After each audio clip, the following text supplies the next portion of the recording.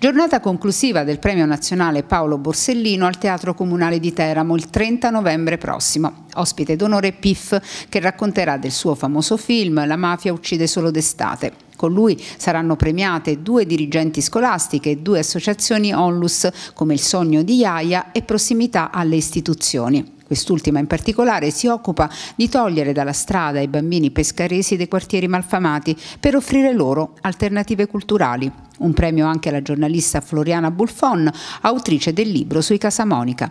Come si svolgerà questa serata conclusiva e chi sarà premiato? Questa sarà la seconda cerimonia del Premio Nazionale Paolo Borsellino, qui a Teramo fortemente voluta dall'amministrazione comunale. Sarà una cerimonia molto bella, emozionante sicuramente come quella di Pescara che si è svolta qualche giorno fa.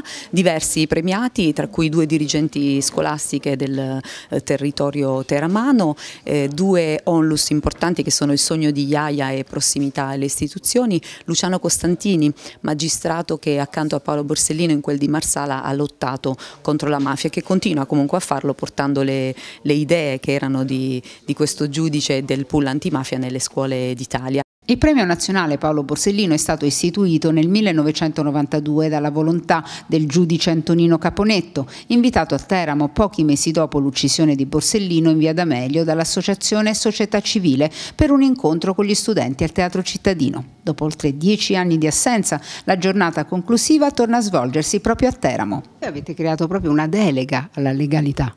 Sì, assolutamente una delega alla legalità che eh, esiste nella Giunta d'Alberto e che è in stretta connessione con, con, la delega alla cultura, quindi nel collaborare sia con la Presidenza del Consiglio, come dicevo, che con l'assessore Falini abbiamo intenzione di continuare per questo percorso su questa tematica perché lo riteniamo di eh, assoluta importanza, lo ha ribadito il Sindaco, a volte purtroppo il silenzio su queste tematiche fa sì che eh, crescano determinati percorsi eh, negativi, invece il nostro obiettivo l'obiettivo deve essere quello di riportare alla luce quelli che sono dei percorsi eh, virtuosi, di educare i giovani alla, alla legalità e eh, farlo ricordando delle figure di primaria importanza come sono stati Falcone e Borsellino. Il Premio Nazionale Borsellino è ritenuto oggi il più importante evento italiano sui temi della legalità.